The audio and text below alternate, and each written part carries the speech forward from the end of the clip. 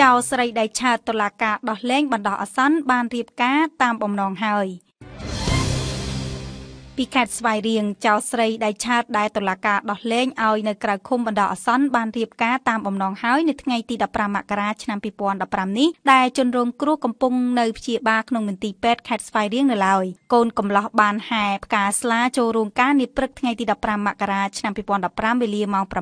ព្រឹកនៅភូមិតាពៅសង្កាត់បាវិតក្រុងបាវិតដោយមានឪពុកម្ដាយខាងប្រុសនិងសាច់ញាតិទាំងសងខាងមកចូលរួមជាច្រើនកកកក្នុងពិធីមង្គលការនៃអាពាហ៍ពិពាហ៍នេះក្រោយពីពិធីហែជំនូនចូលរោងជ័យរួចក៏មាន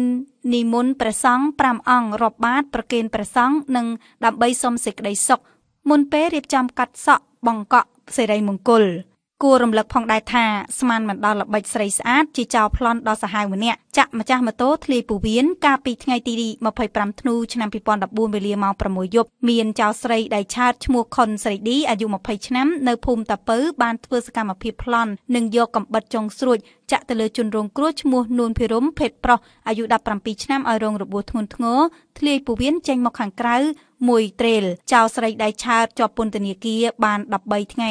តុលាការដោះលែងឲ្យនៅក្រៅឃុំ ជនរងគ្រោះសុំអំពាវនាវរកយុត្តិធម៌ពីសម្ដេចតេជោហើយត្រូវតុលាការខេត្តស្វាយរៀងចេញដីកាឃុំខ្លួនបណ្ដោះអាសន្ន ហើយបានដោះលែងឲ្យទៅនៅក្រៅឃុំកាលពីថ្ងៃទី9មករាឆ្នាំ2015ដើម្បីឲ្យទៅរៀបការនៅថ្ងៃទី15មករានេះឥឡូវបានរៀបការតាមបំណងហើយ។